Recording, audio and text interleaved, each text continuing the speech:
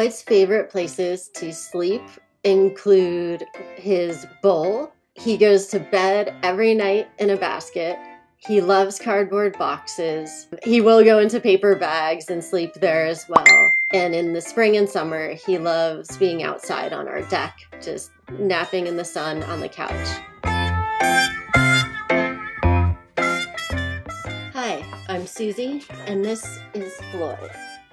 He's a Persian cat with a lion heart and is definitely my best friend. We got Floyd as a kitten through a family friend, and he showed off playing and fell asleep on my shoe the first night I met him. And he was just this little cotton poof of a kitten and was so cute.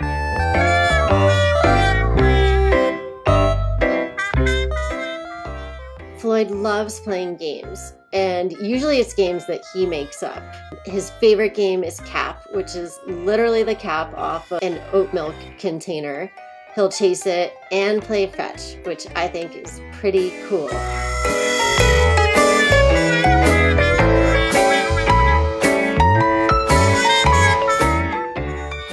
Floyd also walks outside. He loves going for walks in his harness and leash.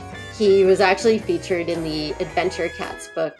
He actually loves wearing his harness and walking on leash. He gets super excited.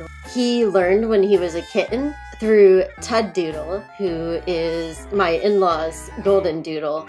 They grew up together a bit as kitten and puppy and both learned how to walk on a leash at the same time. So I think that made it a bit easier for Floyd. He wanted to go walk too.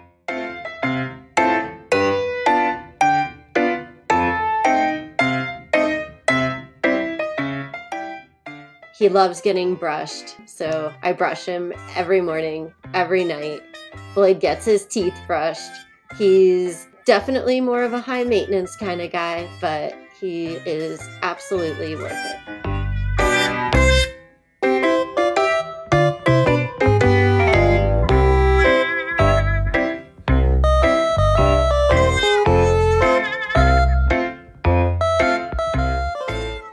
Being a pet owner even though let's be real, Floyd owns us, is just such a rewarding experience.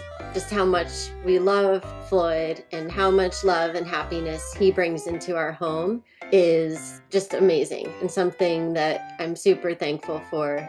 Thanks for watching Floyd's video. We hope that you enjoyed it and we hope that you adopt a pet of your own one day. It's really the best experience ever.